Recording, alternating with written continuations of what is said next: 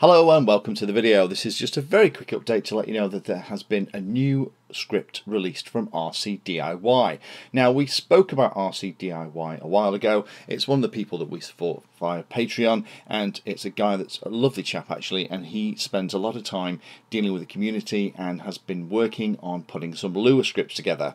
Now for those of you that don't know what a Lua script is, these are the things that run on the Taranis radio and if you turn on your radio and go to create a new model and you have that bit where all of the four model types appear at the bottom of the screen, that is actually a Lua script. Now Lua scripts are about to get a little bit more exciting with the imminent release of OpenTX 2.2 because OpenTX 2.2 will allow us to have two-way telemetry so we can set up and configure things and change stuff here on the radio and have that sent up to the model itself. So think about doing things like actively changing PIDs on flight controllers, changing the settings on things like stabilization units like the S6R and those bits and pieces too.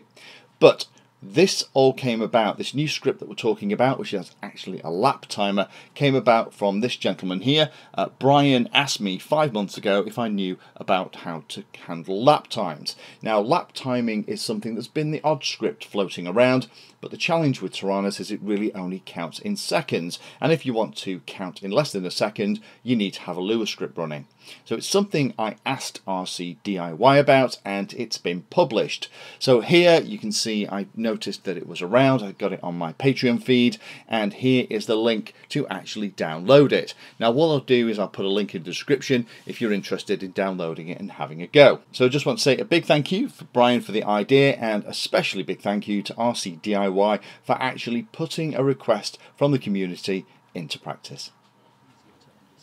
Thank you for taking the time to watch that video. There are lots of other videos on the channel and they're carefully ordered into playlists, so you may find that there are other videos on this same subject that you can go and watch. So I would recommend going into the playlist area of Painless 360 YouTube channel and looking around and seeing what there is. You never know what you might find.